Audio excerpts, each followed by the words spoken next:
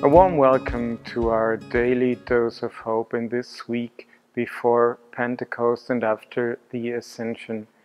You just saw our glass windows here with the risen Christ in his full robe and the white robe and with his blessing sign. You heard maybe or maybe not my daily dose of hope about the Ascension, and today I want to share with you some thoughts about the Holy Spirit, and I'll begin with quoting the scripture, John's Gospel, in the 14th chapter, the verses 6 through 17, 16 through 17. There Jesus says, And I will ask the Father, and he will give you another comforter and helper to be with you forever, the Spirit of truth. You know the Spirit for it abides with you and will be in you.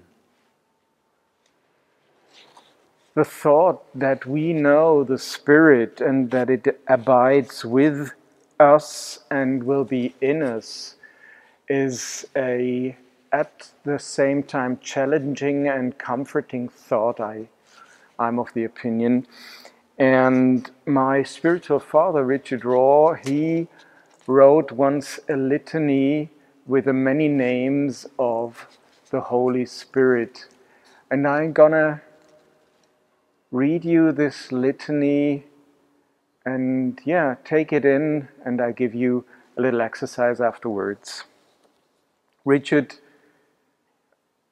choose the following names for the Holy Spirit pure gift of God, indwelling presence promise of the Father, life of Jesus, defense attorney, inner anointing, stable witness, peacemaker, compassionate observer, God compass, inner breath, mutual yearning, hidden love of God, implanted hope, fire of life and love, truth speaker,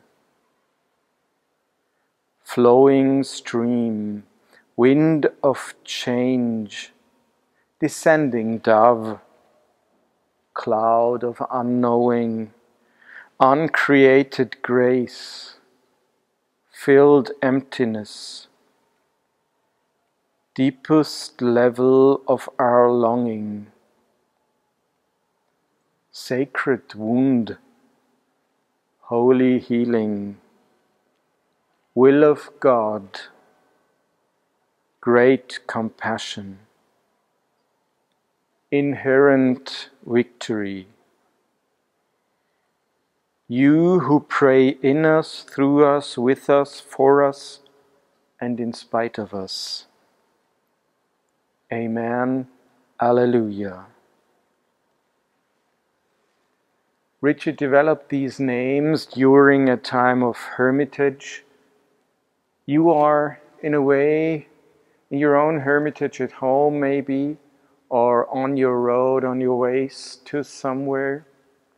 What names do you know or would you come up with for the Holy Spirit? What paraphrases, what images, what metaphors would you come up with? I challenge you, write some of these names down in our comments. Develop them for you, and wherever you are, be blessed, for you are a blessing.